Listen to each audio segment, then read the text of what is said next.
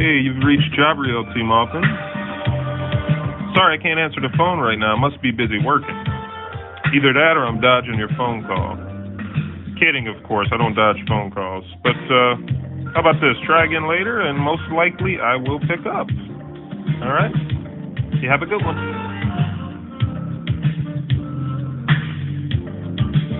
How you like that smooth jazz? All right. Peace out.